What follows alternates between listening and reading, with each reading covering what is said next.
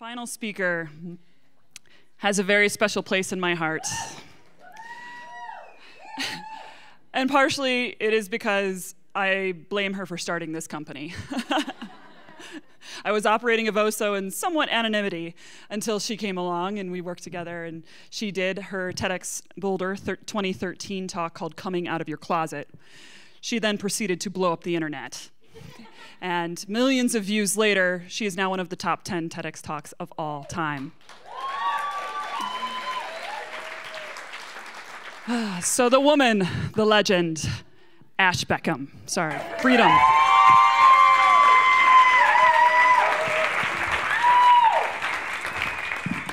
All right, Boulder, final push. Here we go. so, uh, back in January, I was driving into downtown Boulder, and I was uh, meeting this group of speakers, actually. It was this beautiful day, unseasonably warm, uh, gorgeous out. I'd just taken the dog for a walk, I had a hot cup of coffee, I was singing to the radio on my way down, and I'm driving down, and uh, I get a left arrow. So I don't even miss a Beyonce lyric as I start to make the turn. And all of a sudden, this maniac coming from the other direction pulls right in front of me, almost hits me. And so I lay on my horn and give him a through my windshield and proceed to drive. And, and I do not call myself a honker per se, but I had the arrow, man. So I pull in front of him and pull into the parking garage and he pulls into the parking garage right behind me, and for the first two levels, I'm not even looking for a spot. I'm just shooting him eye daggers through my rear view mirror. And I'm making my way up, and it's Boulder at 9 o'clock on a weekday, so there's no spot. So we keep driving up. And about the third level, I'm like, oh, this reminds me of this really annoying intersection about three blocks up where two cars come in from the same way and they both hit a one way and both of them have an arrow. Well, do you think that guy had an arrow? And what kind of world do we live in where two people coming from the opposite direction both have a green arrow at the same time?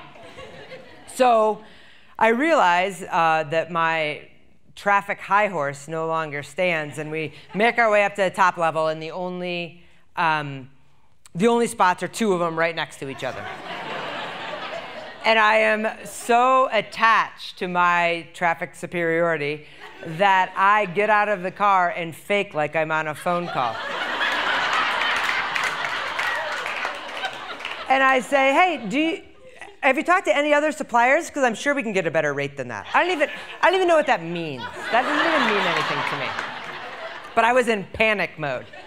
So I get in the car and still my phone, which is funny that like I still do a phone like this. I'm sure kids are like this or this, but anyway, it's still a phone to me. So I'm on, so I'm on the phone and I don't see the guy, so I figure crisis averted. And I scurry over to the stairwell and hit that first step, and there he is, the smug right turner. And I am waiting for my deserved scolding for honking at someone at 9 a.m. in Boulder. And he just says, Isn't it ridiculous that we both had green arrows? We got to call the city about that. Have a good day. So, tonight I'm going to talk to you about the art of taking a stand. We're taught that taking a stand is something that is just definitive. Either you do or you don't. Either you're William Wallace and you fight to the death on your principle, or you're Elsa and you just let it go. But I think that is a really archaic model. I mean, that means that if I don't have the perfect 15 second soundbite to someone's racist joke or sexist comment, that I'm relegated to cowardly bystander in the corner. And I just don't think life works like that. It's way more nuanced. We live in a world where we are all individuals, and I think taking a stand is an art. And just like art, it's individual and people can do it as they see fit, and we all have the power to express it in any way that we want. So, back to that garage. You can imagine that scene, but I'm going to take you inside my brain really quickly, which is sometimes a bizarre place, but work with me. It is, uh, we all kind of have the same brain chemistry, basically. So, I'm there and uh, I have this threat. Is it real? Is it perceived? It doesn't really matter. I mean, first, maybe we were going to hit each other. Maybe my life was in danger. Probably not. It's Boulder. It's like 30 miles an hour here. So, uh, so it wasn't. But then my sense of moral rightness around traffic etiquette was at stake. So there is this threat. And this sets off a chain reaction of chemical releases in my brain. And there's all kinds of chemicals flying around there, but we're going to focus on two groups. We're going to focus on the happy hormones and the stress hormones. So the happy hormones are like oxytocin and serotonin. That's what we get after we get a hug or have a baby or uh, work out. Those are the ones that make us feel good. They make us socially interactive, um, trusting, and empathetic. These are released from the limbic brain or the neocortex. Those are kind of our two, two places where that comes from. The reptilian brain, on the other hand, is way more reactive. That just releases adrenaline and cortisol, to name a couple, and those start flowing into our body. Those are the hormones that happen when you see something down your hallway and you're like, is that an intruder or my coat rack? I don't really know.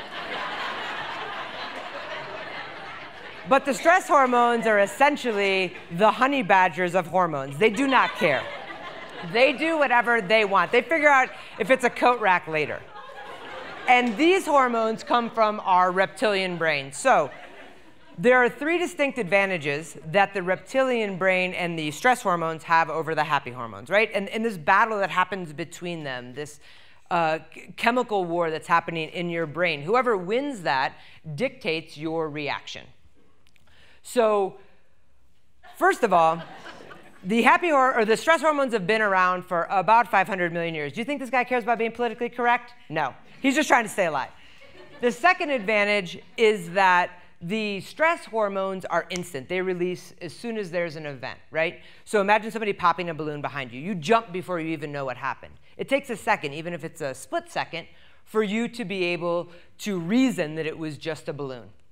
And the third advantage is that uh, neural pathways are like ruts in a road. The more, the, the more they are traveled, the more direct and efficient they become. So if we live a stressful life or don't expose ourselves to new unknowns, our default becomes fight or flight. And when we're talking about ruts, ruts can be physical, emotional, psychological. Do you take the same way home from work every day and not even think about your turns? That's a rut. Do not challenge your boss when he says an offensive comment? That's a rut. Do not stand up for peers when you hear microaggressions against them? That's a rut. And we know what it's like to be in a rut, right? But what does it feel like to get out of a rut? So we're going to do a little experiment right now. I want everybody to just sit back and relax and cross their arms. Come on, cross your arms. Okay. Now I want you to take your arms and put the opposite one on top. That, my friend, is getting out of a rut. The first time I did that, I was like, these aren't even my arms. What is happening? but the more you do it, the more comfortable it gets. You find comfort in the discomfort. You have an ability to stay in the awkward, and it's the same with taking a stand. The first time you do it, it is an out of body experience.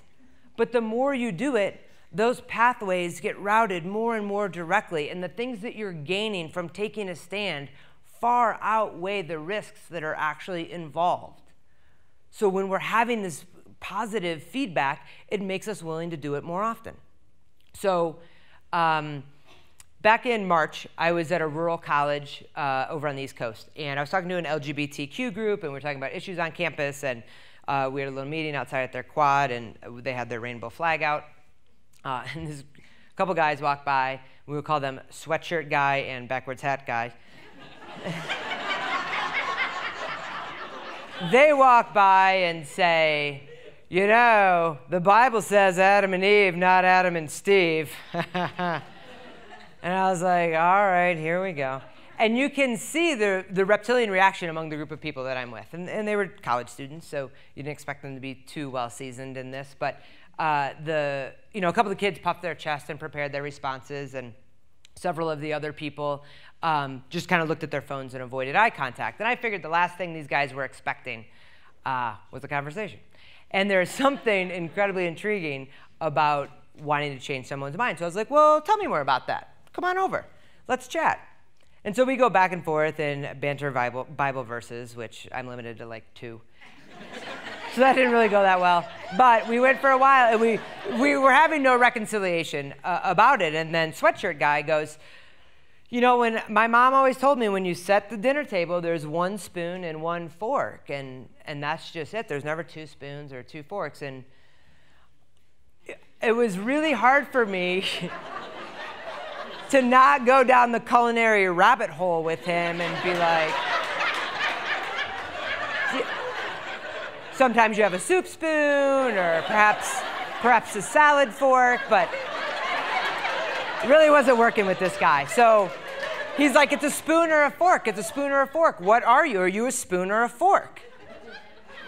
And so I, I, you know, was originally trying to engage in this, but now it's becoming personal. I certainly didn't feel threatened, but my entire character, my identity was being questioned by this guy.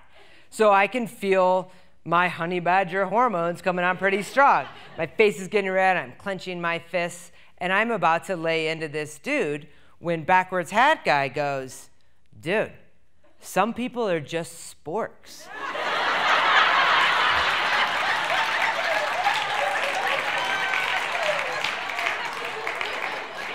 He's a spork, just let it be. And I am so amped up that I turn and I'm about to go off on backwards hat guy. You are not helping. First of all, you just called me he. Second of all, your obsession with gender binary is exactly what I am fighting right now. And why are we still talking about utensils? And do you guys not have chopsticks here? but before I can say anything, backwards hat guy, or sweatshirt guy, they're confusing. Sweatshirt guy goes, Oh, he's a spork. Well, I guess sporks are kind of cool. what? Sometimes you get to pick your allies, and sometimes your allies pick you. And I could have talked to sweatshirt guy till I was blue in the face, and we wouldn't have gotten anywhere. But backwards hat guy, he got to him with the spork thing. Now, did I want to be a spork? No. I mean, I get it, round face, spiky hair. It's fine. Like, I appreciate that as a concept. But it didn't matter if it made sense to me. It mattered that it made sense to Sweatshirt Guy. For the first time ever, he looked at things differently. He looked at me differently. And I stopped being a threat. And everyone calmed down. Are we able to get out of our reptilian brain long enough to understand and appreciate that the vast majority of our personal interactions are not life and death, they're just uncomfortable? And can we exist in the uncomfortable long enough to have a conversation? If we can remove the fear of the unknown from the equation, the reptile can rest and reason can reign. So let's get back to our brains for a second. So there were three things that gave our reptilian brain and our stress hormones advantages. One, they've been around longer. Two, the release of the chemical is instant. And three is the ruts. The only thing we can really control is the ruts, right? And that is the beauty of our brain neuroplasticity. The ability to fire new pathways, to force our brain to work in different ways. And that comes from exposure to things we've never seen. It comes from being uncomfortable. And taking a stand is uncomfortable. But you don't have to be king of the comebacks to take a stand. You don't even need words to take a stand. Can you take a stand and just give somebody a hug? Can you take a stand and just listen? Can you take a stand and just be a shield? You don't need to be a wordsmith to be a warrior. You just need to be brave enough to stay. So, Martin Luther King said, In the end, we will not remember the words of our enemies, but rather the silence of our friends. So I vow to you now, I will not be silent. I will be awkward, and I will be uncomfortable, and I will be offensive, and I will be criticized, but I will not be silent. I will have conversations with my friends of color about race despite my whiteness and I will have conversations about religious freedom, even though I'm not devout. And I will have conversations about immigration, even though I am a citizen. And I will dive into questions and listen to answers about biases I have never known. And that comes from a desire to be part of the conversation. And my street credibility may not come from my exact direct personal experience, but it comes from the experience of being a human. And I will not assume that my privilege gives me the answers to all of the questions, but rather the power and the responsibility to advocate on behalf of those that are marginalized. And I might not say it perfectly or as poignantly as I wished, but I will take a stand and I will stay, no matter how uncomfortable it becomes. Because taking a stand is an art, and art is messy, and there's no progress that comes from a blank canvas. Thanks, you guys. Have a great night.